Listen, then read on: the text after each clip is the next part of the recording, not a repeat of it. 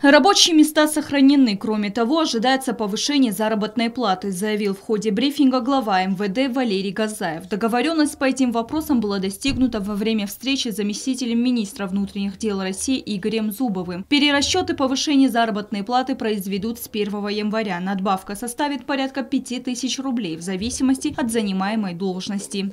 Э, что касается самого соглашения, пролонгация, э, фактически произошла пролонгация того соглашения, вот, и оно продлевается на ближайшие три года. Вот, э, то есть в ближайшие три года сокращение по Министерству внутренних дел Э, не будет и одновременно будет повышение заработной платы. Если средний уровень заработной платы э, на конец 2022 года по Министерству внутренних дел составлял 42 тысячи рублей, средняя заработная плата, то сейчас она поднимется где-то до 47 тысяч рублей. Мы приняли принципиальное решение, что повышение заработной платы не коснется высшего руководства Министерства внутренних дел. Это для нас было принципиальным моментом. Это касается меня и моих заместителей.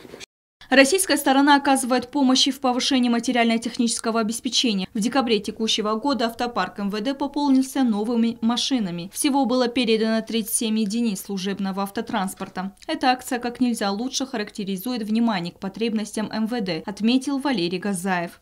Сопоставлять нормативы положенности и так далее, оно где-то удовлетворено на 95%. Что касается проекта «Безопасный город», работа продолжается и в скором времени программа будет функционировать в полном объеме.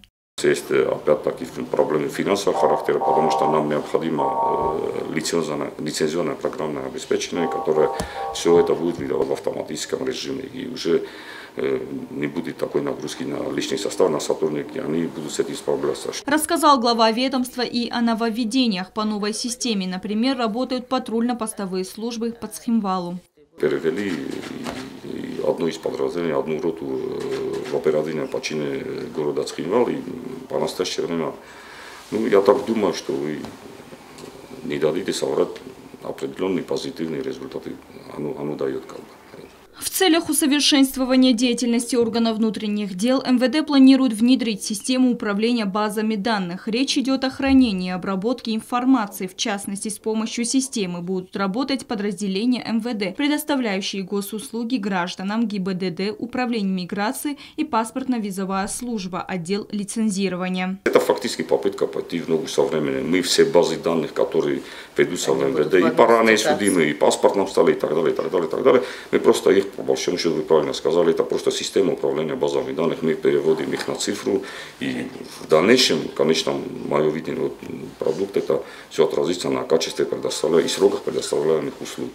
Прокомментировал глава МВД и переход на усиленный режим несения службы. Решение было принято на оперативном совещании Совета безопасности, созванном по поручению главы государства Алана Гаглоева.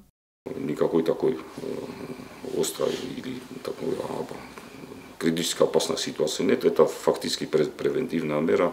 Мы отслеживаем в усиленном режиме ситуацию на сопредельных территориях, на приграничных территориях во избежание возможных каких-то коллизий. В ходе брифинга обсуждались и другие вопросы касательно работы МВД. Стелла Бязарова, Регина Черткоева, Ида Кочева. Информационный выпуск сегодня.